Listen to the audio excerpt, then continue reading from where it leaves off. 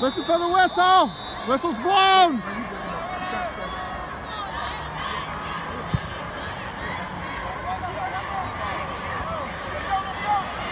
One, two, three!